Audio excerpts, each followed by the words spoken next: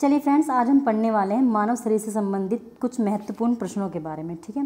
ये सभी परीक्षाओं के लिए अति महत्वपूर्ण प्रश्न है और कई बार परीक्षाओं में पूछे भी गए हैं और आगे भी आने वाली परीक्षाओं में पूछे जाने की संभावना है, ठीक है? तो हम इन प्रश्नों को बहुत ही ध्यान से और बहुत ही अच्छे से पढ़ने वाले हैं और पिक्चरों के थ्रू याद करने वाले हैं। तो इन सभी क्वेश्चनों को याद करने के लिए आपको पूरी वीडियो देखनी पड़ेगी।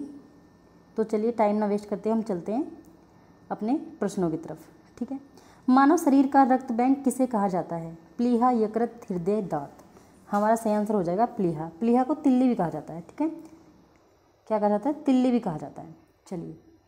तो देख लीजिए आप, ये है हमारा प्लीहा, ठीक है? यानी कि स्प्लीन जहाँ पे हमारा ब्लड जो है स्टोर होता है ब्लड बैंक होता है, ये हमारा। यहाँ पे तीन सौ एम के समथिंग जो है हमारा ब्लड स्टोर रहता है, जब जब हम किसी को ब्लड डोनेट करते हैं या फिर एक्सीडेंट वगैरह होता है तो यहाँ से हमारी ये पूर्ति कर देता है चौबीस घंटे के अंदर, ठीक है? चलिए। मानव शरीर में पित्त रस कहाँ बनता है है ना? मानव शरीर में पित्त कहाँ उत्पन्न होता है? तो हमारा सही आंसर क्या हो जाएगा? छोटी आंत, यकृत, बड़ी आंत, इनमें से कोई नहीं। तो हमारा सही आंसर हो जाएगा यकृत। यकृत को लीवर भी कहते हैं, ठीक है?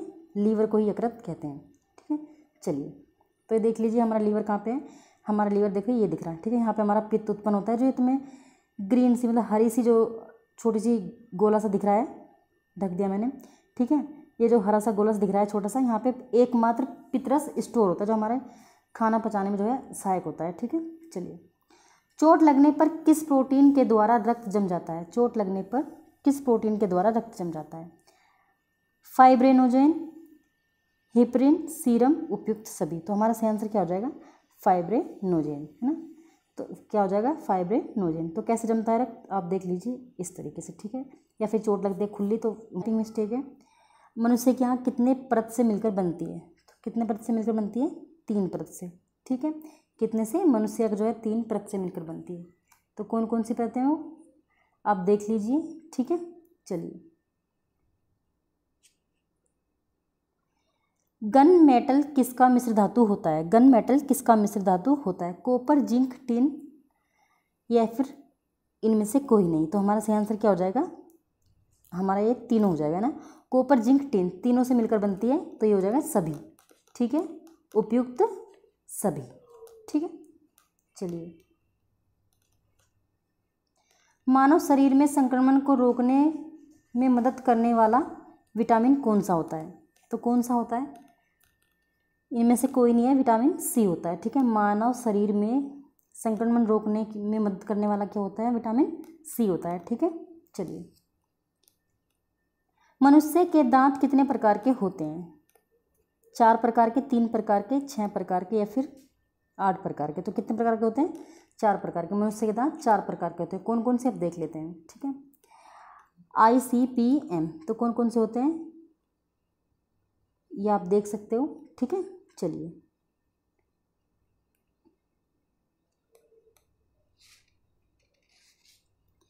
पानी के अंदर ध्वनि सुनने में यंत्र को क्या कहा जाता है? पानी के अंदर ध्वनि सुनने के यंत्र को क्या कहा जाता है? हाइड्रोफोन, कैलोरीमीटर, पायरोमीटर या फिर थर्मामीटर, थर्मोमीटर, ठीक है? तो क्या कहा जाता है? हाइड्रोफोन। हमारा सेंसर हो जाएगा हाइड्रोफोन। देख लेते हैं कैसे दिखता है, इस तरीके का दिखता है, ठीक है? चलिए।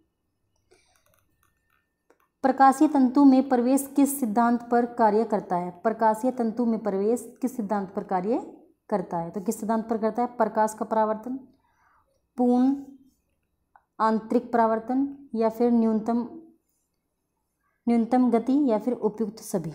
तो किस, कौन सा करता है? पूर्ण आंतरिक परावर्तन। तो कौन सा? पूर्ण आंतरिक परावर्तन। चलिए तो देख लेते हैं किस तरीके से।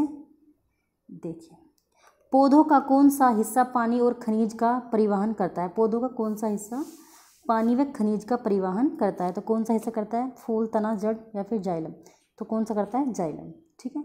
चलो जाइलम देख लेते हैं ये क्या होता है। देखिए। ठीक है? ये जाइलम है। ये जो है फूल पत्ती है, पानी है। चलिए। किस वैज्ञानिक ने क्रम विकास का सिद्धांत दिया था? किस वैज्ञानिक ने क्रम विकास का सिद्धांत दिया था? तो किसने दिया था? चार्ल्स डरविन ने। किसने? चार्ल्स डरविन ने। तो हम इसकी फ़ोटो देख लेते हैं, कैसे दिखते हैं चार्ल्स डरविन। तो ये इस तरह के दिखते हैं, ठीक है? चलिए। मनुष्य के शरीर में प्रचुर मात्रा में पाया जाता है। नाइट्रोजन, ऑक्सीजन, कैल्शियम उपयुक्त में से कोई नहीं। तो हमारा सही आंसर हो जाएगा, क्या पाया जाता है मनुष्य के शरीर में? प्रचुर मात्रा में ऑक्सीजन पाया जाता है। क्या पाया जाता है? ऑक्सीजन, ठीक है? चलिए। देख लीजिए। ऑक्सीजन कितने परसेंट पाई जाती है? पैंसठ परसेंट, ठीक है? कार्बन अट्ठारह परसेंट, हाइड्रोजन दस परसेंट और अदर पाते हैं, ठीक है? बाकी अदर हैं। चलिए। मानव शरीर की सबसे बड़ी कोशिका का क्या नाम है? मानव शरीर की सबसे बड़ी कोशिका का क्या नाम है? लीवर, किडनी, हृदय, तंत्रिका कोशिका क्या नाम है? तो हमारा सही सही आंसर हो जाएगा। तंत्रिका कोशिका। तंत्रिका कोशिका मानव शरीर की सबसे बड़ी कोशिका का नाम है, ठीक है? देख सकते हो आप। मनुष्य के शरीर में पाचन मुख्य कहाँ पर होता है है ना? मनुष्य के शरीर में पाचन मुख्य कहाँ पर होता है? तो हमारा सही आंसर हो जाएगा। मनुष्य के शरीर में पाचन मुख्य कहाँ पर होता है? छोटी आंत में, ठीक है? तो कौन सा आंसर हो जाएगा मेरा? छोटी आंत, ठीक है? चलिए। सबसे पहले डीएनए का, डीएनए की खोज किसने की थी ना? सबसे पहले डीएनए को किसने अलग किया था? सबसे पहले डीएनए को किसने अलग किया था? है ना? ये डीएनए अलग नहीं है, ये डीएनए की खोज की थी, ठीक है? सबसे पहले डीएनए की खोज किसने की थी? जेम्स वॉटसन ने और जी प्रिंस क्रिक ने, है ना? जेम्स वॉटसन ने और प्रिंस क्रिक ने, इसमें से कोई नहीं है, ठीक है? तो हमारा सही आंसर हो जाएगा, ये दोनों हैं जेम्स वॉटसन और जी प्रिंस क्रिक। चलिए, जेम्स वोटसन, प्रिंस क्रिक। मानव शरीर में एनीमिया बीमारी किस धातु की कमी के कारण होती है? जस्ता, लोहा, कोबाल्ट या फिर चांदी? तो हमारा सही आंसर हो जाएगा लोहा, है ना? आयरन की कमी से मानव के शरीर में जो है एनीमिया की बीमारी होती है है ना? पीले पड़ जाते हैं हाथ पैर, ठीक है? ये नॉर्मल है, जिसमें आयरन की कमी नहीं है और जिसमें आयरन की कमी है, उसके हाथ पैर जो है पीली, आँखें पीली हो जाती हैं। सोडियम और पोटेशियम को किसमें डुबो कर रखा जाता है? डीजल, पेट्रोल, दूध, कैरोसिन। तो किसमें डुबो कर रखा जाता है? कैरोसिन में। हमारा से आंसर कैरोसिन में। किसमें डुबो कर रखा जाता है? कैरोसिन में। चलिए। लोहे पर जंग लगना किस तरह की अभिक्रिया है? लोहे पर जंग लगना किस तरह की अभिक्रिया है? तो हमारा सही आंसर हो जाएगा। लोहे पर जंग लगना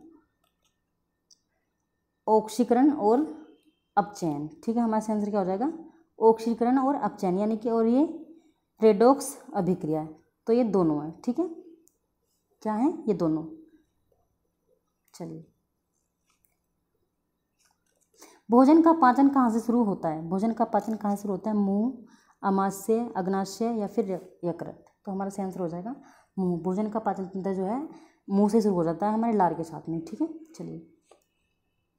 देख लीजिए।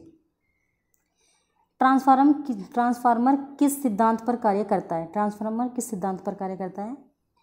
विद्युत चुंबकीय प्रेरण या फिर अन्योन्य प्रेरण से।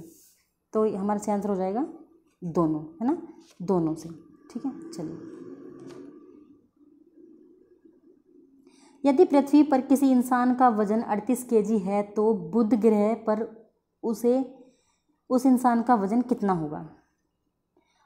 फोर्टीन पॉइंट थ्री के जी थर्टी एट के G three eight three eighty के जी या फिर थ्री पॉइंट एट के जी तो हमारा सही आंसर हो जाएगा।